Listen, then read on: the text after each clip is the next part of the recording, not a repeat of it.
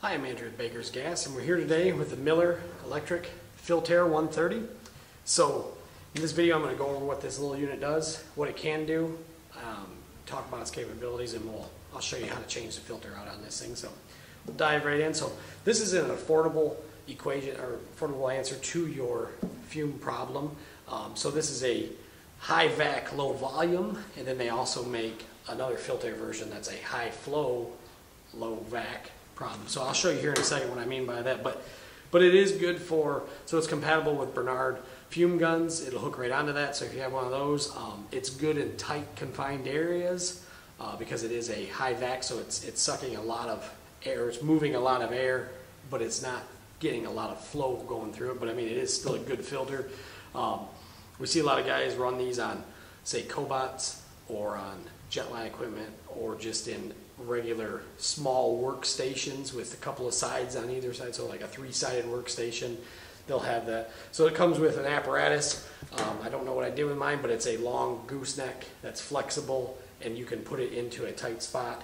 Or they have a long bar version that goes along like the back of your fab table. It's all magnetic, hooks onto this hose, and it draws in from a, a longer area. Uh, but it works pretty good. So I got it plugged in here.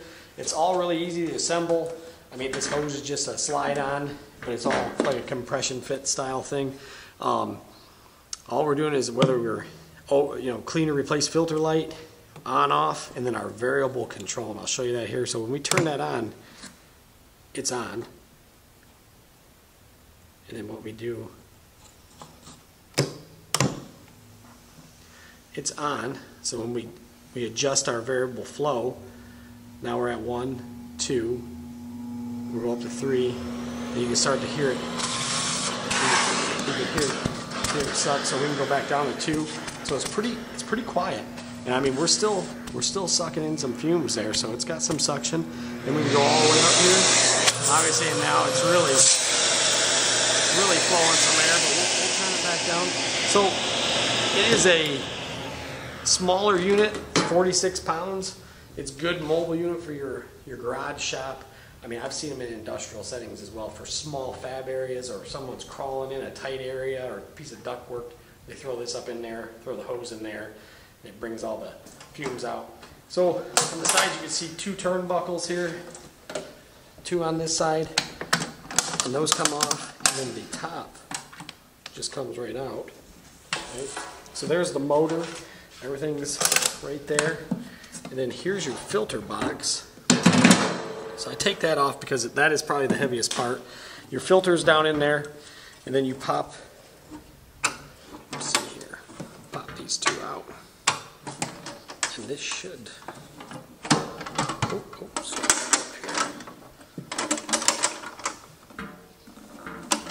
should pop out.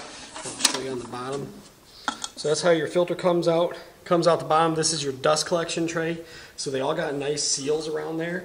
So when it's in that high vac stage, it actually suctions itself together, performs a nice tight seal. All your heavy particulates come to the bottom, and then it filters all the uh, fumes out with that filter. But to get the filter out, you undo these wing nuts.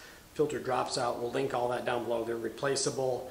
It's all HEPA filters. I mean, they're they're great filters. They these things really do work really, really well um, for certain applications. Now, if you got a, say you got a cutting table, this is not the answer. But if you got a small welding station, it's the answer. So the way I mean by that is it's not going to suck a large amount of fume out of the area. But if you have a small, say one welder running, it's going to do great on that because it's just going to have a tight confined area that's going to be drawing from. Um, but man, really nice and portable. 110, like I said, I've seen people run them on generators.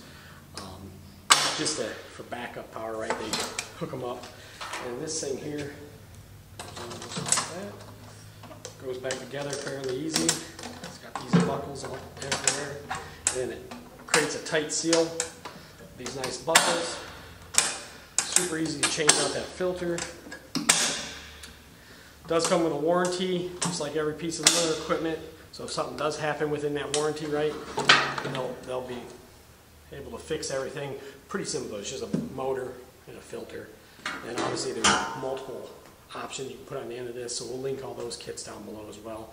They sell replacement hoses, um, replacement knobs, and everything like that. So if you get this thing beat up, and I've seen them beat up quite a bit, um, they sell replacement wheels, that sort of thing. If you got any questions, comments, please leave them down below. We'll do our best to answer them.